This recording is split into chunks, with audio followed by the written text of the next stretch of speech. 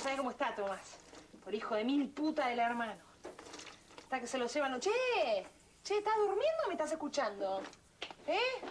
Dale, dale, dale. ¡Dale, dale, dale! ¡Dale, dale! Pero la puta madre, mira lo que sé. ¡Oh, bueno, cortala, cortala, cortala! cortala! ¡Sigue perdiendo! ¡Pará! ¡Cortala! Madre, no. Pero la puta madre las Pero, sabrá por más. favor. ¡Traigan más palanganas! Che, diente. Decime qué pensás, dale. Y pienso que, eh, que tenés que seguir secando. ¿Qué, no, qué, qué? no, no, no. Con lo de Tomás.